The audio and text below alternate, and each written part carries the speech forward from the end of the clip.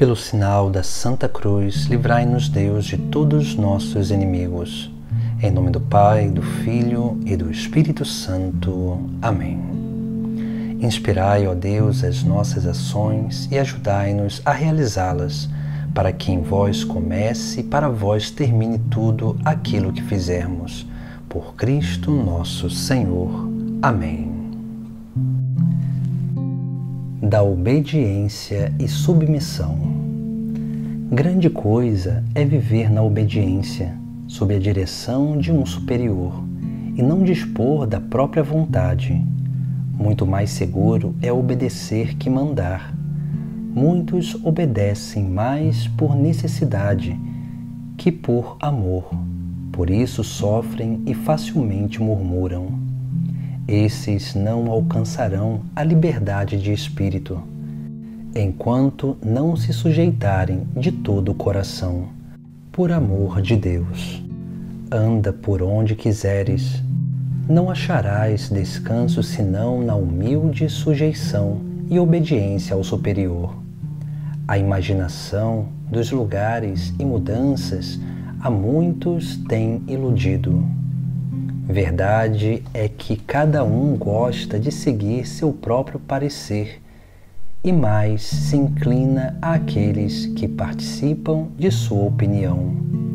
Entretanto, se Deus está conosco, cumpre-nos às vezes renunciar ao nosso parecer por amor da paz.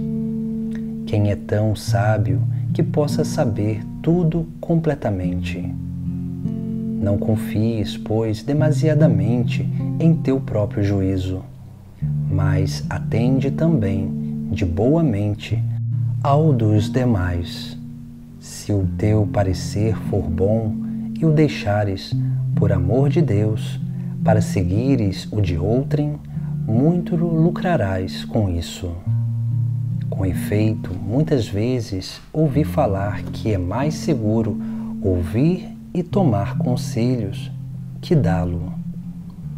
É bem possível que seja acertado o parecer de cada um, mas não querer ceder aos outros quando a razão ou as circunstâncias o pedem é sinal de soberba e obstinação.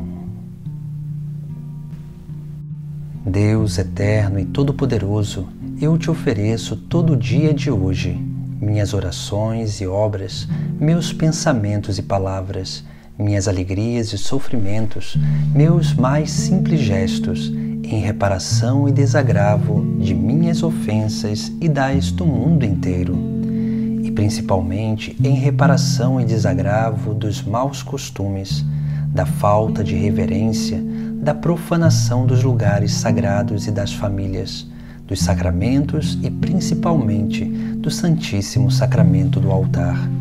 Enviai vossos santos anjos para recolher os méritos das nossas boas obras, materiais e espirituais, unidas aos méritos do sangue derramado de Cristo, e entregue à Santíssima Virgem Maria, Rainha de todos os anjos, para que ela aperfeiçoe as nossas obras e as tornem causa de nossa salvação e de toda a Igreja, e em especial pelas almas que mais necessitam de conversão, expiação e reparação de seus pecados.